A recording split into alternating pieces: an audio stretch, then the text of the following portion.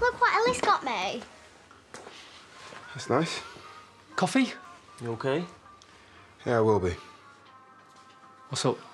Yesterday I walked in on him and my dad at each other's throats again. And why would that be, I wonder? I'll go. We wind each other up. Always have done. Hey, hey. So you are back. I meant to call. That's my fault. Want to present? It's real gold. Oh, wow, that's so nice. Uh, April. I would have brought one for you, but I don't really know what you like. Of course you don't. Coffee? No, I'm late for work.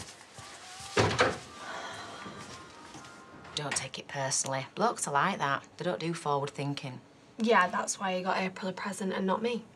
Well, in my experience, random holiday presents, put it this way, you're better off without them. Oh, it's just a thought, though, isn't it? It's like I don't even exist. I shouldn't have to find out that he's home from somebody else. But now you have. And he's home. A night out wearing a Christmas jumper sounds like just what you need. Hmm, well, I don't do Christmas jumpers. Forgot later I'm not clubbing in some comedy knitwear. Hey. I'll catch you later. Uh, I've got a quick call up at Wylie's. I need a signature from the boys, and then we can release the compensation. Right. Um, and Paddy and Jamie are okay with that, are they? Ness, we owe them nothing. I may be menopausal, but I'm completely and absolutely sure I did not leave those gates open. Well, whether you did or didn't, we've accepted liability. So let's just all move on, okay? Yeah, let's just do that, shall we? Can I get off? I've got a blow dry booked. Yeah, go enjoy. Remember Paul Ramsey? He ran a practice in town a few years ago. Why would I? No reason. See you later. I know that you're mad at her, but it's Christmas. Hey, sorry I'm late. My nails went dry.